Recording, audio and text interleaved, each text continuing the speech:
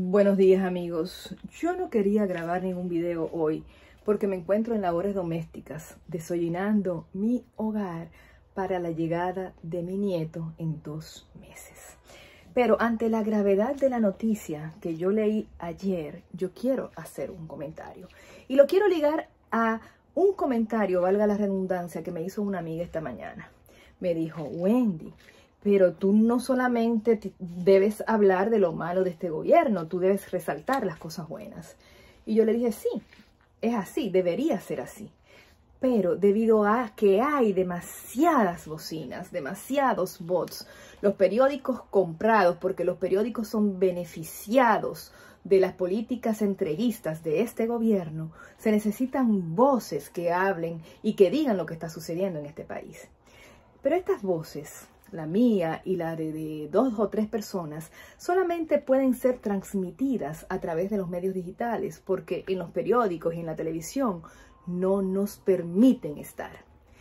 Y ayer hubo una eh, actividad auspiciada por la Junta Central Electoral y vamos a leer lo que dice.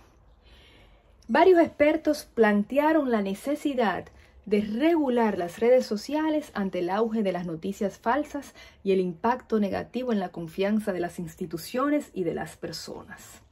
El tema fue abordado en un panel sobre redes sociales, desinformación y campañas electorales en el marco del Congreso Internacional sobre Democracia, Elecciones e Identidad que auspicia la Junta Central Electoral.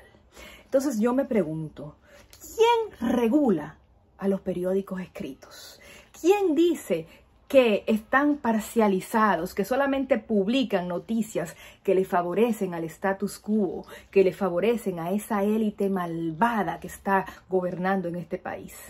Entonces, al pueblo sí quieren callarlos. Señores, esto no se puede permitir porque esto coartaría nuestra libertad de expresión. Entonces, el pueblo debe decirle que no a la regulación de los medios digitales. Nada, amigos, yo espero que tengan un feliz sábado. Yo me pasaré el día entero limpiando, pero feliz. Bye, bye.